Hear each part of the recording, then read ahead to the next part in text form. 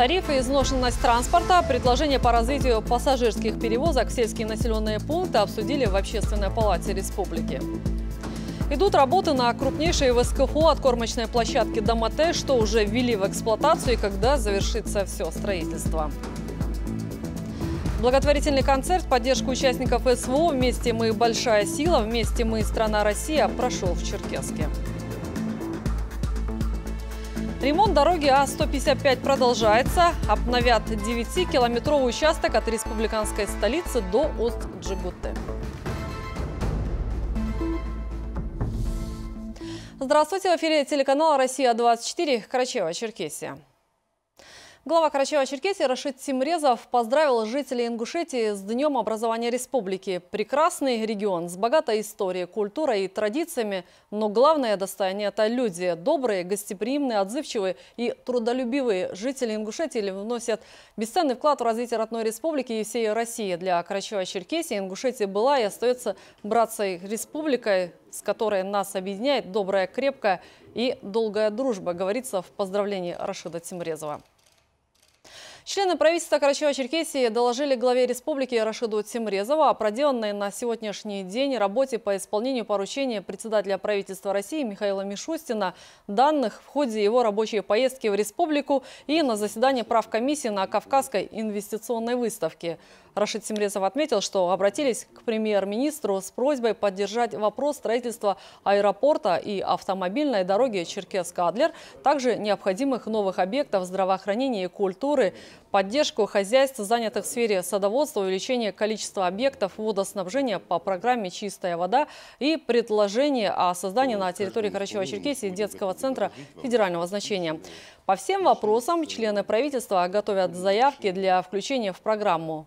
По ряду вопросов в рамках Санкт-Петербургского экономического форума пройдут личные встречи. Глава республики поручил премьер-министру Мурату Аргунову держать исполнение поручения Михаила Мишустина на особом контроле. На очередном пленарном заседании Народного собрания депутаты рассмотрели ряд законопроектов, обсудили актуальные вопросы социально-экономического развития республики. Кроме того, парламентариям представили новую кандидатуру на должность уполномоченного по правам ребенка в Карачево-Черкесии. Альбина Ламкова продолжит. Перед тем, как приступить к рассмотрению законопроектов, депутатам была представлена новая кандидатура на должность уполномоченного по правам ребенка Карачаева-Черкесии в связи с истечением срока полномочий предшествующего руководителя. Парламентарии претендента одобрили. Считаю, что работа уполномоченного по правам ребенка Карачаево-Черкесской республики должна осуществляться по следующим основным направлениям. Защита прав детей. В первую очередь детей, нуждающихся в особой поддержке государства – детей-сирот, детей, оставшихся без попечения родителей, детей с ограниченными возможностями здоровья, детей, проживающих в интернатных учреждениях и детей, находящихся в конфликте с законом. Мария Лакаева имеет необходимые качества в области прав и свобод человека и гражданина, опыт их защиты. Начинала трудовую деятельность психологом в реабилитационном центре «Надежда». Затем с докладом выступил уполномоченный по защите прав предпринимателей Сергей Рощенко. Он рассказал о совершенствовании правового положения субъектов предпринимательской деятельности и путей решения проблем и о результатах работы в этом направлении. Есть тенденция к улучшению. У нас количество восстановленных прав с каждым годом растет. На сегодня это 80% из того, что к нам обратились. Количество проверок э, бизнеса кратно сократилось, и сегодня уже ситуация иная по сравнению даже с прошлым годом. Количество проверок сократилось на 70%. Соответственно, в рейтинге делового климата среди регионов э, Российской Федерации мы с 70 места переместились на 19 место. Люди в бизнес идут активно, так как они под надежной защитой, заявил Сергей Рощенко. Затем на сессии были представлены законопроекты и проекты, касающиеся мер социальной поддержки, налоговой политики, туристической привлекательности региона и земельных отношений. Хасан Хубиев рассказал о внесении изменений в закон с многодетными детьми. Речь идет о том, что дети, которые с многодетных семей будут учиться в среднепрофессиональных образовательных учреждениях будет компенсирована 30% компенсация. компенсация. И есть поправочки, мы подготовили по заключению правового управления нашего. А, там речь идет, уточняется форма обучения это очная и вступает в силу с 1 сентября текущего года. Ключевые проекты законов и законодательные инициативы детально обсудили на заседании. В результате все представленные законопроекты были поддержаны депутатами. Альбина Ламкова, Олег Малхожев, Вести, Карачаева-Черкесия. Роль транспорта в развитии современного города, низкий тариф и 80% изношенность транспорта обсудили на заседании в Общественной палате Карачева-Черкесии.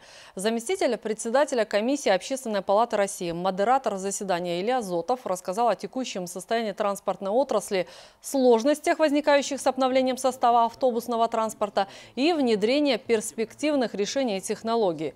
Участники круглого стола сформулировали предложения по развитию пассажирских перевозок автобусным транспортом в сельские населенные пункты. Общественная палата России, учитывая высокую социальную значимость вопроса и доступности транспортного обеспечения, подготовит резолюцию, которая будет направлена всем соответствующим органам, отметил Илья Зотов. Мы за то, чтобы было сбалансировано развитие качества транспортных услуг, и сервис был э, более высокого уровня, и автобусы новые, но при этом, конечно, планово рос и стоимость проезда, потому что это неизбежно. Но пассажир будет четко понимать, он при росте стоимости проезда получает более качественный транспорт, более качественные услуги. Сейчас он увидит только повышение стоимости, но не видит э, качественных транспортных услуг. Это абсолютно недопустимо, и мы против нарушения балансов, которые сложились на данный момент на рынке автобусных перевозок. Это все-таки рабочие места, это семьи, это большое количество людей, которые задействованы в этом процессе. Не нужно рубить с плеча, нужно смотреть на эту ситуацию сверху и находить возможности для развития бизнеса. И по каждому виду транспорта предложение даем в адрес а, правительства. Мы как голос регионов угу. понимаем полностью специфику всей нашей необъятной родины и должны давать решения не только для московского региона, не только для центральной России, но и для всех регионов. А каждый из этих субъектов потом будет воспользоваться этими инструментами поддержки, как посчитает нужным. ДМТ начала строительство второй очереди площадки от корма овец в Карачево-Черкесии. На сегодняшний день уже введены в эксплуатацию площадки на 14 тысяч голов овец – Второй этап включает в себя строительство 16 навесов для выгула мелкого рогатого скота, кормовые столы, склад и навес для техники. Кроме того, будет построен административно-бытовой корпус, объекты биологической безопасности, проведение всех необходимых коммуникаций. В полном объеме работы на крупнейшей в СКФО откормочной площадке будут завершены в конце 2023 года. В Республиканской филармонии прошел благотворительный концерт в поддержку участников специальной военной операции «Вместе мы большая сила, вместе мы страна Россия». Свои музыкальные номера представили воспитанники детских школ искусств Черкеска. На мероприятии побывал и наш корреспондент Алихан Лепшоков. Подобные концерты сплачивают общество, и нам приятно, что юные дарования принимают участие в благотворительных мероприятиях, отмечают организаторы. Перед входом в концертный зал филармонии установлена специальная урна, куда желающие могут внести ту или иную сумму в поддержку семей участников СВО. Благотворительное мероприятие собрало полный зал, и нам приятно видеть, что такую акцию поддерживают жители республики, отметил министр культуры Карачаева-Черкесии Зураб Агирбов.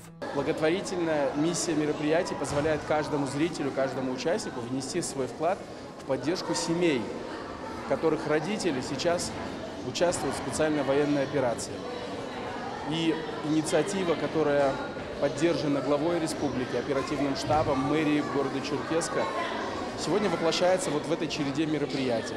Вот здесь рядышком с нами находится специальный большой короб, в который любой желающий может нести сумму, которая пойдет в фонд поддержки семей участников СВО. В свою очередь, заместитель мэра Черкеска Елена Йенсен Данильчук отметила, что сегодня наши военнослужащие защищают счастливое будущее, охраняя безопасность нашей страны от неонацизма. Мы гордимся нашими ребятами, смелыми, стойкими, верными сынами Отечества, настоящими патриотами. Всесторонняя помощь военнослужащим и добровольцам, выполняющим боевые задачи в зоне СВО, а также их семьям сегодня главный приоритет – мы всегда на связи и всегда готовы поддержать наших бойцов и их родных. Юные талантливые воспитанники школы искусств дарили свои яркие музыкальные номера, завораживая зрителей своим мастерством исполнения.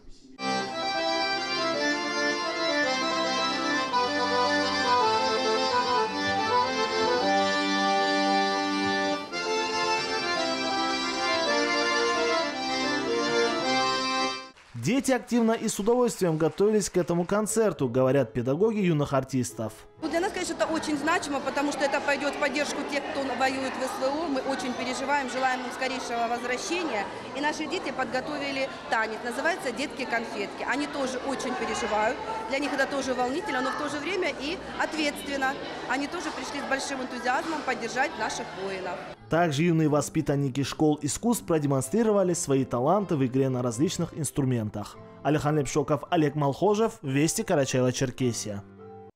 Традиционный концерт, приуроченный ко Дню защиты детей, провели на базе Республиканской детско-юношеской конно-спортивной школы. На праздник пригласили более 100 ребят из семей участников СВО. О заряде положительных эмоций расскажет Дарья Тендит. Дети с нетерпением ждут начала лета, ведь это не просто приход тепла, но и возможность для отличного отдыха. Это настоящий праздник, так как наступили долгожданные каникулы. Очень здорово, что дети могут общаться между собой, попробовать прокатиться на лошадях и увидеть подготовленную для них программу, отметил Руслан Джамбаев. Он поблагодарил конно-спортивную школу, Министерство культуры Карачаева-Черкесии, организаторов и волонтеров за оказание помощи и поддержки тот праздник, который сегодня у нас получился, конечно, он, э, я думаю, очень понравился и детям, и родителям.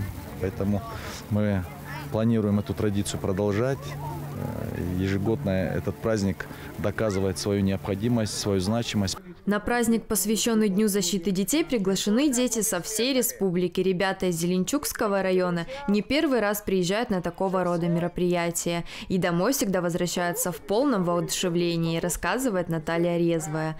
В этом году на праздник приехала группа из 20 человек. Это дети из семей участников СВО, отметила она ребята ожидают такого же положительного настроения, бури эмоций, ждут конкурсов, ждут мероприятий, настроены позитивно, очень хотят во всем поучаствовать.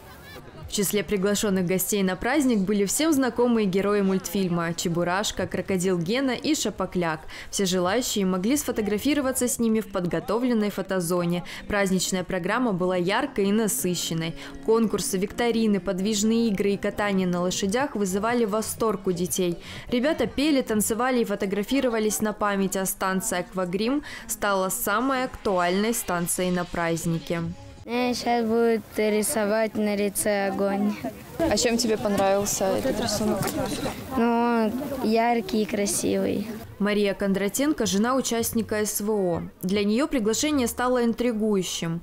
Мы не представляли, что будет происходить, но концерт оказался замечательным, поделилась Мария. Спасибо большое организаторам за такой прекрасный, чудный праздник для деток наших.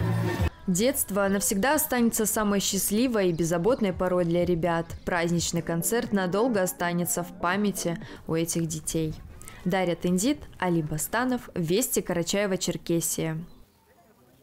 Дорога к популярному курорту станет еще комфортнее. На ведущей к Донбаю дороге А-155 продолжается ремонт. По заказу Упордор Кавказ обновят 9-километровый участок от республиканской столицы до Усть-Джигуты.